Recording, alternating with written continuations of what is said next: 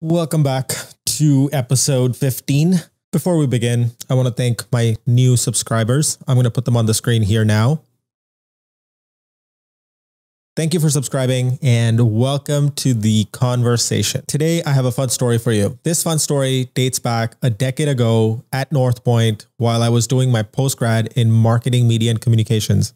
Mr. Premjeet Sodhi, the president of Lintas Media Group at the time, was conducting a workshop and he shared this beautiful story with us a lesson in empathy and curiosity. Here's how the story goes. And I'm going to try and paraphrase. Hopefully, I get this right.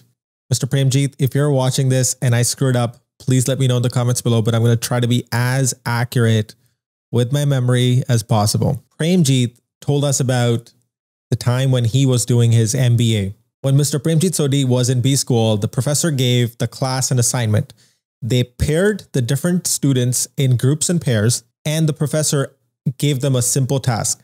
There is a poor villager in the middle of the desert in Rajasthan, India. He lives in a very old hut, and the farmer, with little to no resources, makes very little money to sustain himself. As a group of MBA students in that class, what is your strategy to help that poor farmer? So the teams got together in groups, huddled together, made a lot of plans. There were a lot of back and forth going on. You could hear cheers. So the different teams at the end of the day presented ideas on the lines of let's give the farmer some funds through the government. Let's get him a tractor, get him some cows. Let's also give the farmer some more land and also educate him on how he can become a better farmer.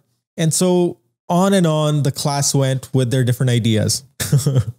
This is where it gets super interesting. The professor paused the students and asked them only one simple question Did anybody bother to ask what the farmer wants?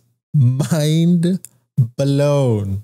This is the perfect story to illustrate a class in curiosity over conclusions and empathy that at any point somebody presents a question or a problem, before jumping into the solution, get curious, get empathetic. That lesson has stayed with me in my bones, in my blood, in my DNA. It is such a simple and powerful story to teach you something so fundamental. You can put all these fancy labels of design thinking, user experience. It all boils down to curiosity over conclusions and being empathetic. That's it.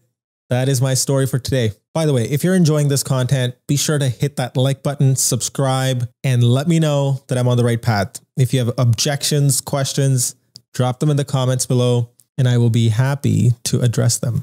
Let's read a tweet before we end today's video. By the way, thank you, Mr. Premjeet Sodhi, for sharing that story. Love it. By the way, Mr. Premjeet Sodhi is on Twitter. I will put the link in the description below. Be sure to follow him on Twitter and let him know that I sent you. The secret is to stay persistent even during the inevitable moments of self doubt. The one thing that most of us get wrong is that when we see people at the top, people who are the best at their game, athletes, actors, you name it, they also get self doubt, but they choose to proceed and do that thing anyways. Let fear be your guide. That was a very Tony Robbins kind of an end. I will see you tomorrow.